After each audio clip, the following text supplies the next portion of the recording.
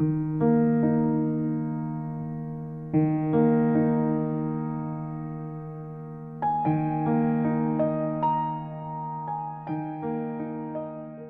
father was um, uh, an avid adorer of the mountains and had been raised up in the mountains by his grandfather who was a mining engineer.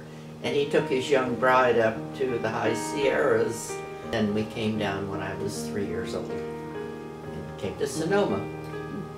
He loved the mountains. He, I attribute a lot of my love for nature to my father because he introduced me to the little things, uh, the smell of wet leaves and uh, the feel of the air under certain conditions. And um, he, he just loved to be out in the mountains. And of course, he hoped to uh, be rich by finding gold too, but uh, that didn't happen. Sonoma was very, very different. Uh, it wasn't, the road wasn't even paved all the way around the plaza.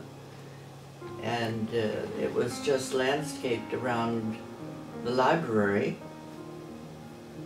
So uh, he came to work on uh, what was then the Hall Ranch. It's now owned by the Sangiacomo's property out at the end of Broadway. And my mother went to beauty school and opened up the first beauty shop in Sonoma called the Bluebird Beauty Shop. she was a lover of nature too, so I was very fortunate in that respect. We uh, we hiked up in the hills, and it's it's hard to imagine now, but I I as a nine or ten year old would start out in the morning and, and hike up in the hills and be gone all day. And you know you'd never, never allow your child to do that now. But uh, the hills around Sonoma were my backyard at that time. I was fortunate that my father was a wannabe painter. He um, had all the equipment, the oils and the canvases and everything. And when some kids were using crayons, he let me use his oils. And uh, so that was wonderful. I did some pretty wild paintings. In high school, they did not have an, uh, an art teacher. They had um, Mr. Strife who taught, I forget what the course was called, drafting, I believe. Um, girls took domestic science and the boys took drafting. And uh, Mr. Strife also taught freehand drawing. And we just did whatever we wanted. But one thing that I, I got from him and, and have always been grateful for was that he was a stickler for perspective third perspective from Mr. Strife. so that was uh, a good thing. High school, I, I wanted to be a commercial artist or a forest ranger. and I wrote to my um, step-grandfather who had been in the uh, employ of the government as uh, something to do with agriculture and uh, and I asked him uh, what I needed to do to become a forest ranger. And he said, there is no way that you could be a forest ranger because you're a woman, but you could marry a nice forest ranger.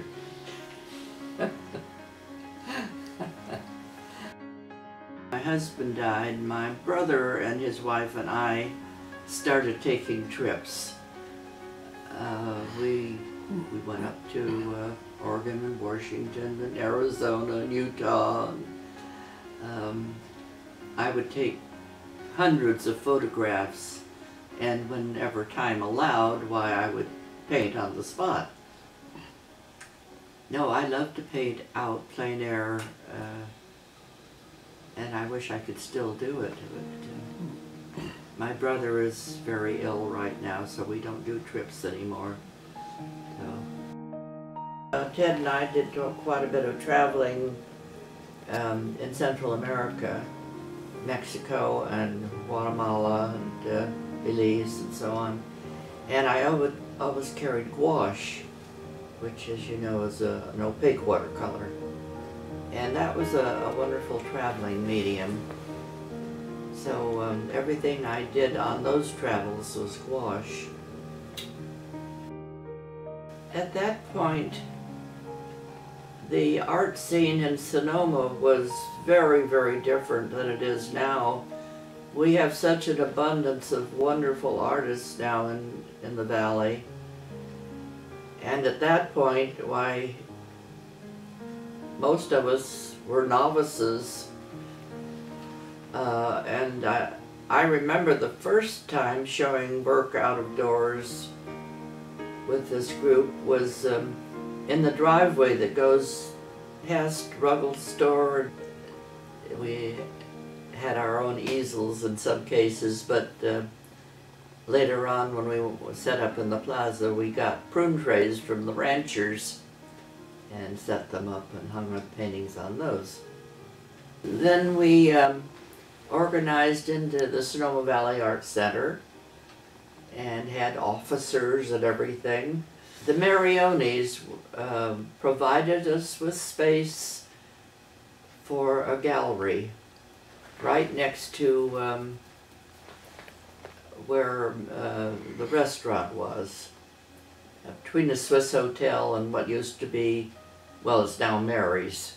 And they provided that space for us for a gallery at a very nominal fee.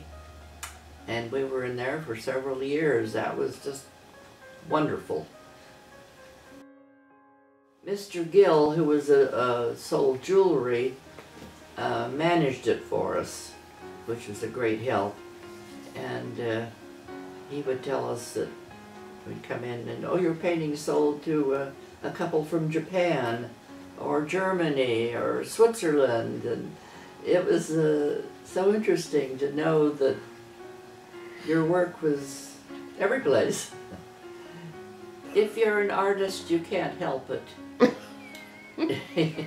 You've got to do it. Okay. yes. Uh, so, no, it, if I had to live through the years on what I've made as an artist, I would be extremely thin. but it's very gratifying. Everybody has to be creative in some way. So I, I don't teach as much as I did. But one afternoon a week, um, they come and uh, we paint and we talk and we're old friends now. Um, nearly everybody who comes has been with me for maybe 20 years. So uh, we're good, very good friends and they all paint beautifully. I can't emphasize enough uh, how wonderful it was to be with uh, Helen and uh, I don't suppose you know Margie Rango and Linda Martin and and a few of um, my fellow artists. The trips we took and the, the, the the times that we've gone out to paint together and the times we've spent together, it's uh, it's been so rewarding to, to know these people and uh, and spend time with them and create with them.